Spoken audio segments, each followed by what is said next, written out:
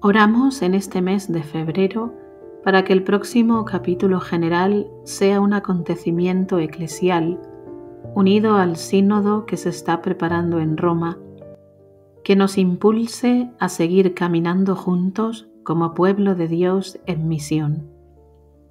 Todos nosotros hemos sido bautizados por el Espíritu Santo para formar un solo cuerpo.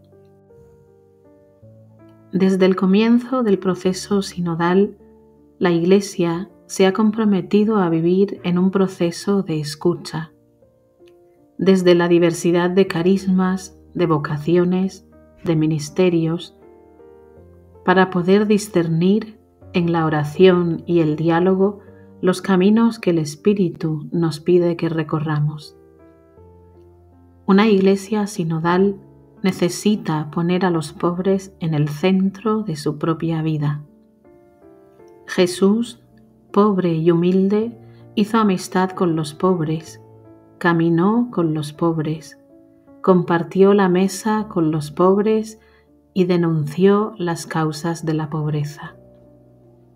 El Papa Francisco, con sus palabras y aún más con sus obras, nos dice constantemente, lleven a Cristo al mundo que está alejado de Dios y comprométanse con los más necesitados y olvidados de la tierra.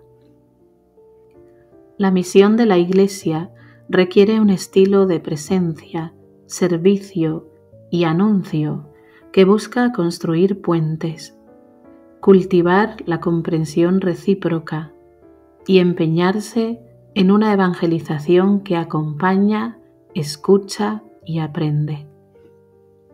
Esta misión continuamente se renueva y se alimenta en la celebración de la Eucaristía y se desarrolla a la luz de la palabra de Dios escuchada y compartida en la oración.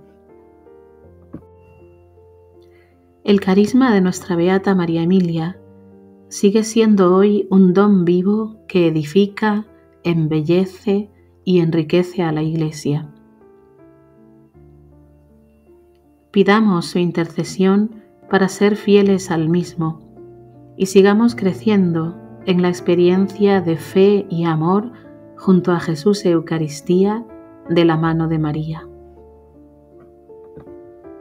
En este mes de febrero oremos juntos como iglesia y como congregación para que el Señor oriente los nuevos caminos que tiene preparados para nosotros como familia congregacional. Vivamos atentas a lo que nos pide el Espíritu en este momento de la historia.